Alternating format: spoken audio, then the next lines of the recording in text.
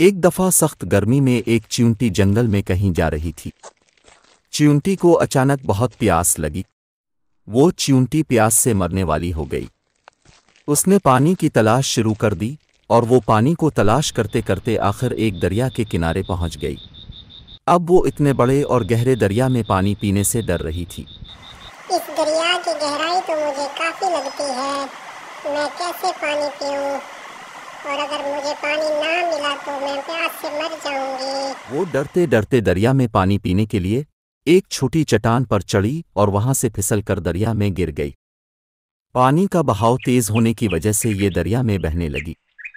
पास ही एक दरख्त पर कबूतर बैठा था और वो ये सब कुछ देख रहा था और उसने च्यूंटी को दरिया में गिरते हुए भी देखा। कबूतर ने जल्दी से एक दरख्त का पत्ता उठाकर च्यूंटी के करीब दरिया में फेंक दिया। और च्यूंटी को कहा, इस पते पर सवार हो जा। च्यूंटी ने पत्ता देखा और उस पर सवार हो गई। दरख्त का ये पत्ता आहिस्ता आहिस्ता दरिया के किनारे पर पहुँच गया। और कुछ देर बाद च्यूंटी साहिल से टकराई और पते से उतरकर खुश्क ज़मीन पर आ गई। च्यूंटी ने ऊपर दरख्त की तरफ़ देखा और कबूतर का शुक्रिया अदा किया। इसी दिन शाम के वक्त एक शिकारी जंगल में आया और वो शिकारी कबूतर को पकड़ने आया था। शिकारी के पास कबूतर को पकड़ने के लिए एक जाल था और उस वक्त कबूतर मज़े से एक दरख्त पर बैठकर सो रहा था। इस कबूतर को शिकारी के आने का इल्म नहीं था और वो मज़े से सोता रहा। शिकारी इस कबूतर को पकड़ने के लिए जाल लगा रहा था।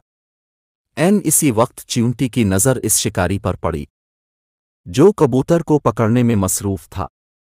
और वो च्यूंटी जल्दी से शिकारी के करीब जाकर इसकी टांग पर ज़ोर से काट लेती है। च्यूंटी के काटने पर शिकारी ने चीख मारी और कबूतर बेदार होकर उड़ गया। और इस तरह च्यूंटी कर वजह से कबूतर की जान बच गई। मज़े मज़े की कहानियाँ देखने के लिए जल्दी से अभी सब्सक्राइब करो। और घंटी को दबा दो।